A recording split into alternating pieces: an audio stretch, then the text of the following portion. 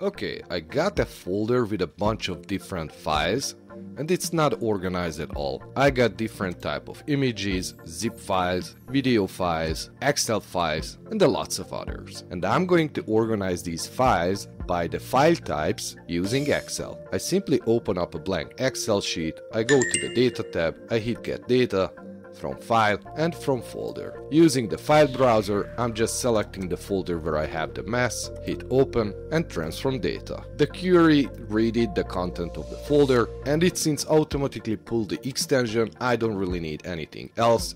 But if you look at the content column, then you can actually see the binary content for the computer files and if I scroll right then I can see the metadata as well related to each computer file. But now I go to the home tab, I hit choose columns and I'm going to choose the name, the extension and the folder path column. Then I hit OK. Everything is formatted as a text, that's fine. Then I go back to the home tab, close, close and load to. Then I simply just insert as a table on the existing worksheet, hit OK. And here we go. I got a table with the list of the files I have in that specific folder. I close the pane and now I'm going to use a very simple trick to create folders where I'm going to move my existing files to make it organized. I selected the table, I hit data, I open up the query pane, right click, hit edit. I'm going to just simply duplicate the query table I created and I'm going to modify the applied steps. So I go to the applied steps and I hit the gear icon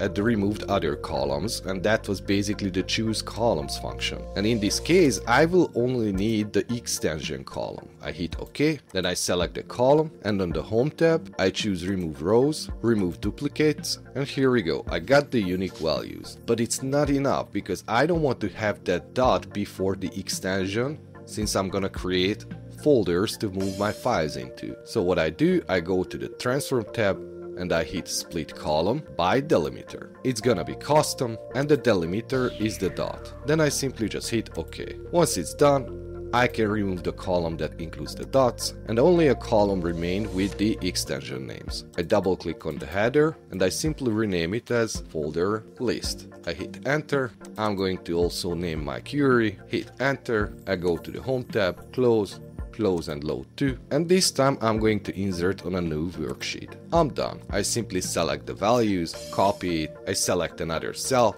right click, hit paste special, from there I need only the values and I'm gonna transpose the values, hit ok. Once I got the horizontally pasted data on the sheet, I simply copy it, I open up a blank notepad and I simply just enter md, which means make directory, space, and then I can paste the list of the values. Then I hit file, save as, I'm going to navigate to the folder where I want to create those subfolders and this is gonna be here. And I'm going to name my file as organize.bat like a bat file. The encoding should be the ANSI and simply save it. Then I can close the notepad, hit escape, then I open up my file browser. As you see I have this system file created.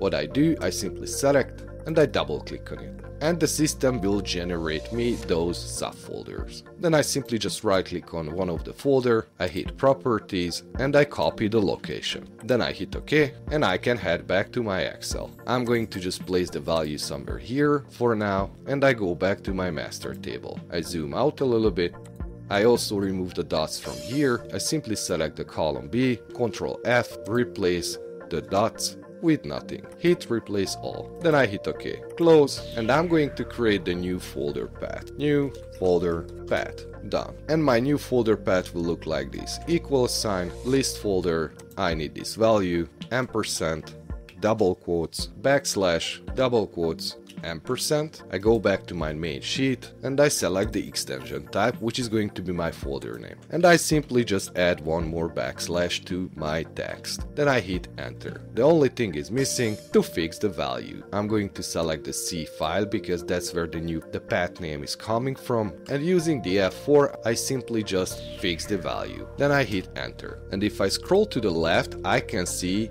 the actual file name as well. And in order to move a file, the Windows has to know exactly the file name and pathway if I want the Windows to interact with the file. So what I do, I simply just scroll to the right and I'm going to add two more columns. One is the source file, the second one is the destination file. And it's gonna be very easy. Equal sign, the original pathway, ampersand, and the value from the name column. Then hit enter. Now I got the pathway of the original file. Now let's create the pathway for the destination file, so basically the new pathway for the existing file, and it will look like this. Equal sign, the value from the new folder path column, ampersand, and the file name. Hit enter. So basically I want to move these files from this folder into this new folder. And the last thing I'm going to do is just to create a very simple macro and you will find the code in the description as well as the sample file link to download. So what I do, I simply hit Alt F11 it opens up the Visual Basic editor, I go to the Insert tab, I hit Module, and I'm going to name my macro like this, sub, organize, open brackets, angle brackets, hit enter, done. And now I will need to activate a library, a reference library in the Visual Basic. I hit the Tools tab and I hit References. I scroll down until I find the reference called Microsoft Scripting Runtime. It's very easy to find because everything is in an alphabetical order from A to Z. Once I select it, I simply just hit OK. And the Visual Basic code I need, it will look like this. So I'm using the previously selected references to interact with the Windows objects. If you're not familiar with the Visual Basic, don't worry, you just simply copy paste the code into the Visual Basic editor and you're done. But what it does basically, it sets the file system object to work with, then I declare some variables which is going to be my source file, the destination file, and I'm using another variable to start counting the number of rows in my table. Since the first row on the table is the header, so I need to start checking the values from the second row. And the do until loop will basically go through on each row to check the fifth column, which includes the source destination file name, and if it's blank, then it stops working. And in the meanwhile, the source variable will be equal with the value from the fifth column, which is the pathway of the original file I want to move into a new folder,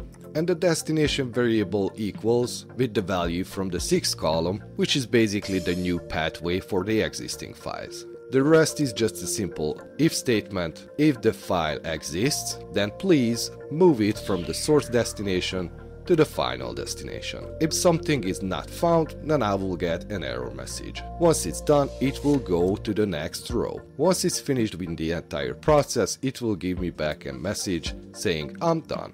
Let's give it a try. So I close the Visual Basic Editor as I said, the fifth column is the source file, the sixth is the destination file. I open up the file browser. As you see, the CSV folder is empty, PDF is empty, and I want to move every file from this not organized folder into those subfolders. So I go back to my Excel, I simply hit Alt F8 and I hit run to make my macro working. And it was very fast. The process is done. I simply just hit OK. I go back to my file browser and as you see all the files disappeared from the not organized folder. And if I go back and I select the subfolders I created with the bat file, CSV files moved into the proper folder. Let's check the PNG folder. Here we go. I got the images there PDF folder, beautiful, as well as the link files are moved too. If I check the zip folder, I have only just zip files saved there. Let me know in the comment if it was useful for you